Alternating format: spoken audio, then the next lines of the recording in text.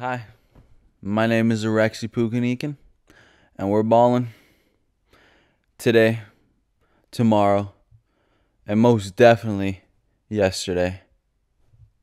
At what cost? Ladies and gentlemen, welcome back to Balling at What Cost. We're out here in the summer cottage of my best boy Eric, and we're just chilling. Where it's a little bit later in the evening. We I just came back from island camping yesterday. You know, no big deal. It was amazing. The nature was beautiful to say the least. The colors were amazing. The sunset was amazing. Um, you know, and then we're we made it back by the skin of our teeth. You know, it started fucking rainstorming. We we somehow escaped the rainstorm, and then the the the boat that we were riding on out on was uh, almost ran out of fuel, but it took us all the way still back back to dry land. And uh, yeah, we're here a little bit tired, but balling at what cost? We keep on balling, no matter the cost. So let's start off with um start off with a little bit of news from last week. All right. So, the biggest news, absolutely the most humongous piece of news in the sports competition world is uh, the Michael Jordan of Glizzy's, the, the legend of Glizzy's, Joey Chestnut, has been banned from the Nathan's Fourth of July hot dog eating competition. Um, if you didn't know why I have to make a this is the Michael Jordan of glizzy eating. Ladies and gentlemen, this is the real deal, okay? Because if anyone's the Michael Jordan of any competition, you got to you got to respect the game. Okay, you got to respect the game and Joey Chestnut he's definitely got game, okay? Uh, but unfortunately, after 19 years competing and dominating, um, he's been banned uh, due to a sponsorship deal with a plant based glizzy company. You know, usually I would understand Nathan's point of view because it is really like a sponsorship thingy. Like, I understand that because, in a way, you come into the competition, you'd be, you know, it's just a it's a business thing. I understand that usually, right? Usually most cases I take Nathan's side, okay? Whoever the fuck Nathan is, I'm sure he's great at making a lot of hot dogs or a lot of glizzies, but but we're talking about vegan glizzies, okay? and we're talking about glizzies in general, guys. Glizzies are pretty darn processed.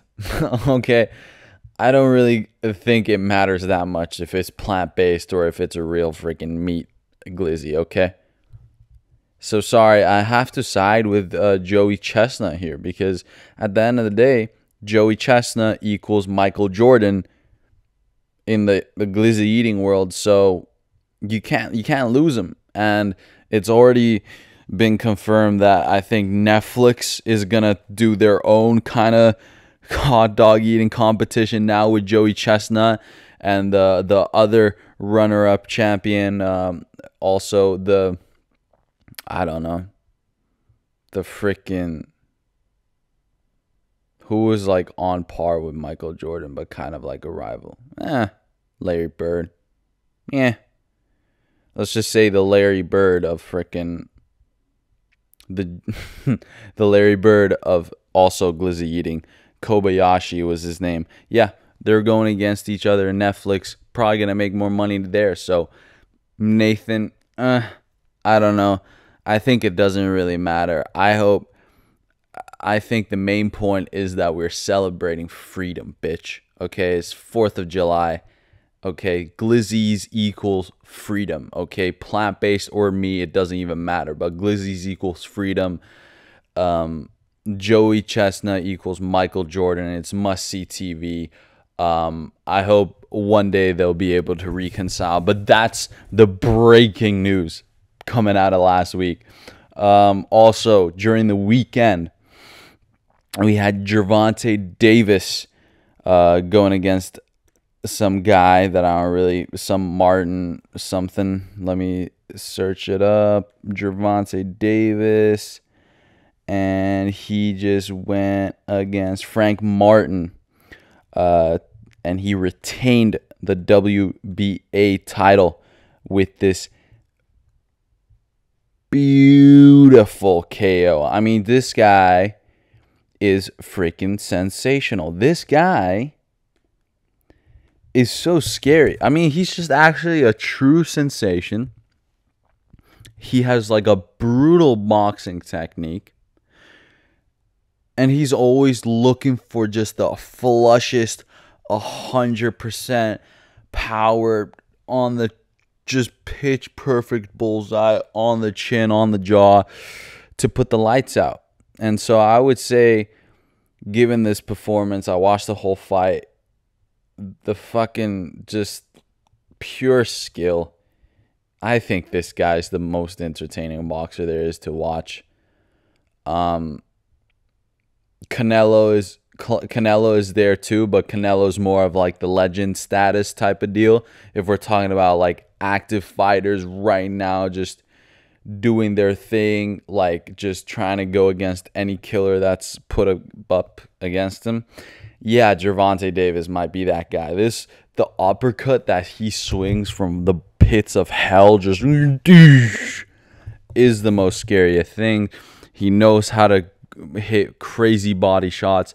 He just got such heavy hands for the weight class he's in. So, dude, I'm just saying he's just like a lighter Mike Tyson. Honestly, that's how it looks like. He's just got kind of like that killer boxing style. So, Gervonta Davis, KO win, uh, backflips with the freaking chrome hearts boxing outfit. I mean, it just goes hard. I mean, this guy just understands how to be as cool as fucking possible, I guess, man. Gervonta Davis, Gervonta Tank Davis, shout out to you, man. Um, you are active and you're performing. Conor McGregor, you are not active and you're not performing. What the f- Oh dear lord. Oh my god. Yeah, so I, I think I might have just jinxed it like I always do. I say, hey, oh my God, it's all building up to something this month of June. Oh my God, how excited are you? It's amazing. What? Conor McGregor was like the big freaking name that I was waiting for for a very long time. And so will so was Michael Chandler. Michael Chandler has now been waiting for pretty much 2 years trying to fight Mac- uh, McGregor in the octagon. So Michael Chandler is fucking down bad right now. He's going through it, ladies and gentlemen. He actually he's going through it so much he might eat fucking white toast, bro. you know, because he doesn't eat carbs. He's like super fucking ripped all the time. Yeah, he might be so damn he's gonna fucking make himself a white bread sandwich. That's how goddamn down bad Michael Chandler is right now. And I mean, hopefully it was because of McGregor. He he was injured and he did not get medically cleared. I'm sure there was a hell of a lot more details behind the scenes, but yeah, we'll just we gotta hope for the best. I still think Michael Chandler's just gonna keep on waiting. Um, and McGregor, I think the fact that this was the first time in a way that he he's pulled out I think he's pretty eager to just get as healthy as possible and get back to the octagon. And if anything, this is only going to make the fight bigger whenever it does happen. So hopefully, matchup will still happen at the end of the year. Hopefully, Michael Chandler doesn't have to go back to resort to eating fucking bread again. So, oh my god, he just wants the Conor McGregor bread, but he don't want to eat the bread. You know what I'm saying? That's just how it is. So the UFC, the ultimate show must go on. Okay, McGregor being out. Oh, brother, I wish that was the only devastating fucking news coming out of the UFC. However, there's UFC Fight Night in Saudi Arabia in Riyadh, I think this this weekend, and originally it was supposed to be Robert Whitaker going against Khamzat Chimaev uh, for the main event. However, unfortunately, Khamzat Chimaev is ill, is very sick right now. He has the physical abilities. His muscles are fucking, you know, straight out of a fucking science lab. But his immune system is definitely not. I mean, remember, COVID almost fucking killed this man. Now he's, I swear, he probably just got a, like a fucking little cold and then just a whole system shuts down. I wouldn't be surprised also, it's just how hard he goes during training, but that's another fucking topic. But yeah, Khamzat Chimaev is out because of an illness. And uh, Robert Whitaker, therefore, goes against Ikram Aliskerov. Um, Ikram steps in in short notice for the main event. I mean, this, in my personal opinion, was a bit of a fucking golden ticket handed to Ikram. Um, but I understand it because Ikram uh, has a pretty goddamn impressive uh, professional MMA record of 15 and 1. And although he's only fought twice in the UFC, there have been two dominant, dominant TKO KOs within the first round. Um, and it wasn't even against the worst competition either. So I truthfully think look, I think it's going to be one of those experience things. Of course, um, Ikram's going to be aggressive, but um, Robert Whitaker is so skillful with keeping the distance, with defense, and then just picking apart the opponent as well. So this is going to be a test of fight IQ more than power or you know technique per se. I think it's just going to be fight IQ whoever is smarter with the five round fight is going to be the one who comes out on top. I'll be rooting for Robert Whitaker. If you were to ask me, I think he gets a TKO within within three rounds. I think so. Um, Robert Whitaker got got one of the most impressive gas tanks for the heavier divisions. And um, yeah, he's just so experienced and, you know, ready to get back into the win column as well because uh, I'm pretty sure last fight was against Dricus and he lost down on that one. But yeah, um, of course, Ikram, you never know. It's just Ikram is one of those just scary, dangerous Dagestani kind of guys. So at the end of the day, I'm not going to doubt him at all. But it's just I feel like Robert Whitaker, and just given the fact that Ikram is coming coming in short notice, it's just going to be a tough one uh, for Ikram to try to pull off. So shout out to Robert Whitaker. Shout out to Ikram at the end of the day for taking the short notice fight.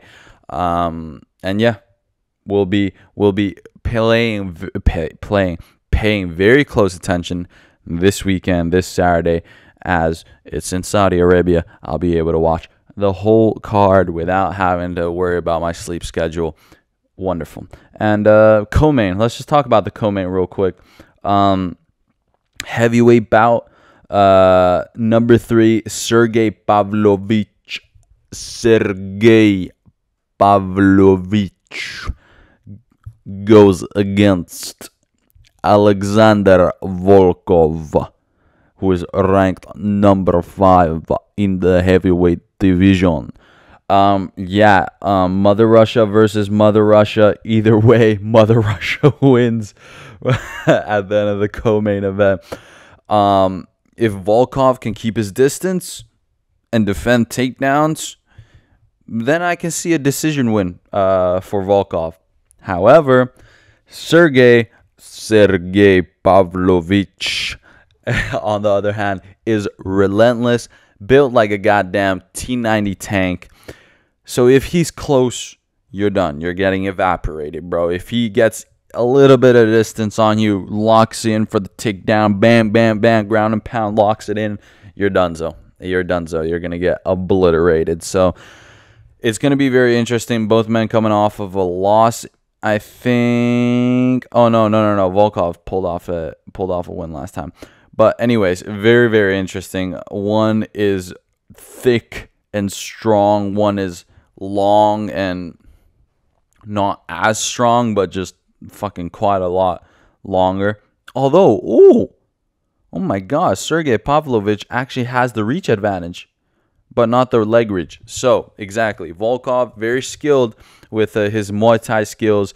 Use use those legs to keep the distance. That's his best chance. Otherwise, Pavlovich is coming in for the takedown and ground and pound. Okay that's the co-main event. Last last one that I do want to mention real quick. The last fight of the prelims. Uh, this guy called Shara Bullet Magomedov. Um, he's fighting for the second time in the UFC. He's going against uh, this guy called Jailton Lutterbach. Lutterbach. I don't know. UFC debut for the opponent. And Shara is very he's just the reason why I'm talking about him is he's genuinely a very very exciting prospect that seems as though he has the skill that is above a lot of the fighters in the division. However, he's new. He just has to climb the ladder slowly. Um, but it's the it's, he's very exciting because at the end of the day, he's a Dagestani fighter, but most most Dagestani fighters they're known for wrestling, right? Well, this guy don't wrestle. He strikes. He's a high level, high level Muay Thai striker. Uh, on top of the fact that he looks like a, you know, ginger pirate. Um, I'm excited what fashion he will pick apart his upcoming upcoming opponent opponent man it's um this guy looks very interesting uh, as a human and uh, also just he is very focused very dialed in and he has Dagestani kickboxing Muay Thai skills like what so it's just like isn't that even more gangster because all they teach in Dagestan is wrestling or like mostly wrestling or it's mostly about wrestling and grappling. But then this guy goes like, nah, nah, I'm gonna try. I'm gonna try this other thing too. And then he gets super good at it.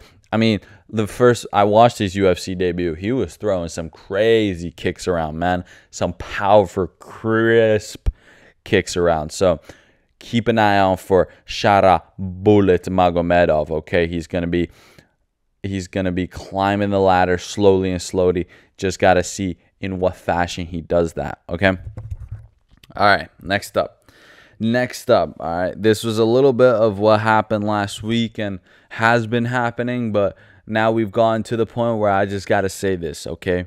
The NBA playoffs, the NBA Finals championships, the championship finals Dallas Mavericks goes against Boston Celtics.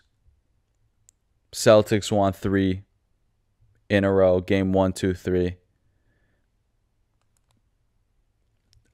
They pulled one back. Now they're going to Boston tonight for game five. It's all or nothing. It hasn't gone our way, but God damn it, we're going to give it our all to get the reverse sweep. I believe, Matt. I believe that. I believe it. I believe. Okay, anyways. Um yeah, well, uh NHL playoffs, I haven't talked about it that much. Um it's the championship finals as well, Stanley Cup finals. Um Edmonton Oilers are going against the Florida Panthers. Florida Panthers won game one, two, three. And now Oilers were able to get one dub on the board. So it's 3-1.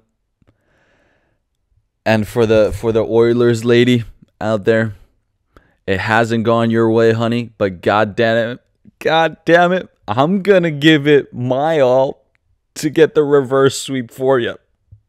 Because you deserve it, Oilers lady. I love you. Okay, you deserve the reverse sweep. Okay, we're doing this for you. I'm doing this for you. Believe, believe. I can I actually do anything? No. Have I actually really talked about the NHL before? No, not really. But hey, listen to me, Edmonton Oilers lady. We're doing this for you. I'm rooting for the Oilers for you. Okay. and to and to transition that smoothly, um, we're going to F1 where we're getting triple head. Wait, what? triple header? Wait, what? Yeah, triple header, three three weekends in a row.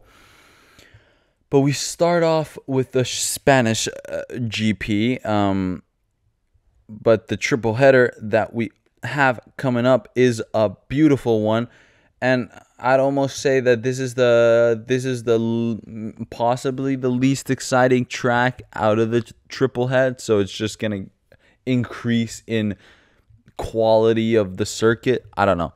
Um, excitement, possible excitement, but it's Spain, Austria, and Great Britain. Three weekends in a row. It's about to be beautiful. Everybody loves, loves Austria. Everybody loves Great Britain. Spain is just the one little question mark. However, they've made improvements to the track after last year or before last year. This is the second time with the new and improved uh, Spanish circuit, and um, it's a technical one, man. It's really technical with a lot of medium and slow speed turns. Um, not too many straights. I mean, there's only two DRS zones, or is there only one DRS zone? I ain't gonna cap. I ain't gonna cap. Yeah, there's two DRS zones, um, but realistically, the only place you can actually pull off a like an overtake that doesn't actually have a ridiculous amount of ridiculous amount of risk is the starting straight, uh, the finish line straight. So it's very interesting. It's very it's gonna be very technical. It's gonna the results we get on the race from Sunday is gonna stem a lot from how the qualifying goes. Um, and the the race itself, I honestly think it might just go down to the wire because we've seen a lot of races now in a row where it's it's gotten close. It's gotten close. The gap isn't that crazy anymore. It ain't Max Verstappen ahead by over 20 seconds no more, okay? So with that being said, a lot of tire strategies of just, you know, maybe do the undercut or the overcut, you know, just save the tires, all that stuff. And with these factors coming in, I think um, there's a lot of potential for different different drivers. I think there's going to be a big race for Norris. Um, he has the chance to win this. He has the chance to win this. Um, big one for Norris because currently he's at 131 uh, in the drivers' championship, which is P3. However, he's only seven points behind Charles Leclerc, and then he's about 63 points behind Max Verstappen. Realistically, is he going to catch Verstappen? Is anyone going to catch Verstappen? No. But I think Norris or Leclerc could get close. Uh, right now, I believe that Norris could get closer to Max Verstappen than Charles Leclerc um, because the McLaren, as of right now, is looking a little bit more promising than the Ferrari. So, with that also being said, Ferrari, they have to bounce back, man, because um, it was a dreadful Canadian GP. I mean, neither car scored points. It was just, it was a mess. It was a mess. It was a lot of bad luck. I know um, but now we we gotta we gotta pull through. Okay, we gotta pull through, and also just the fact that Mercedes performed so well in the Canadian GP, and they obviously made improvements to the car.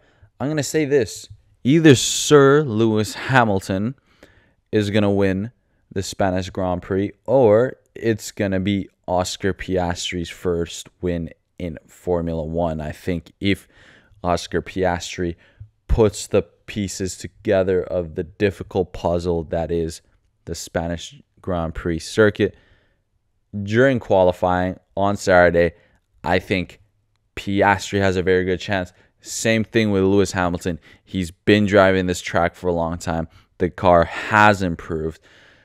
I think he has the edge over George Russell, even though there's been little rumors that he's alluded to that he's saying basically they're doing a lot for George's car and they ain't doing shit for my fucking car because I'm getting out of here at the end of the year anyway. So, but I do believe Lewis Hamilton, he's going to show a bit of that fire before he goes to Ferrari.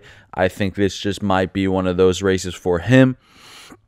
And uh, very possibly very possible no Red Bulls on the podium. This is a very controversial take. This is saying that Verstappen might be slipping or some shit, but I don't know. Sergio Perez is obviously struggling in the Red Bull compared to the high competition of any of the top teams. So this is going to be an interesting one either way. All right. Either way, full of action during the weekend. The UFC, Formula One, and and then also throughout everything, constantly, UEFA, UEFA, European Championships, alive and kicking right now, absolutely fucking kicking right now, um, and the whole Europe is lit. The whole entire Europe is lit. We're fucking. We're just too. We're just enjoying ourselves. Finland ain't even in the European Championship. Whole Europe is lit. I don't care what you're saying. Um, they're lit in Germany, but they're lit in their own hometowns too. Um, either way, it's really fun to see everyone fired up about football, fired up, fired up over one sport, trying to root for their own team, and um, I'm gonna be following along since there's uh games, of course, going to get going at reasonable times. And um, yeah, if I had to shout one, maybe Germany, maybe Netherlands for the dub. Um, but hey, ladies and gentlemen, this is yours truly, Rexy Pukeniken. I'm gonna end it off here. It's a short one. We're gonna get this up and loaded into the interwebs. It's been a real one. I'm excited for this weekend keep on balling. I'll see you next week. Bye.